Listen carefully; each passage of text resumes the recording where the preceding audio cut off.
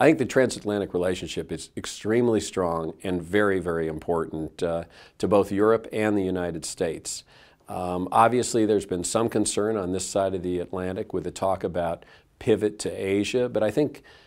when you talk with folks, they understand that we all need to do some rebalancing and, uh, and focus on that part of the world. But that doesn't take away from the important uh, goals and objectives of the transatlantic relationship, starting with successfully negotiating and obtaining the implementation of TTIP, the Transatlantic Trade and Investment Partnership Agreement, which would not only create the largest free trade zone in the world,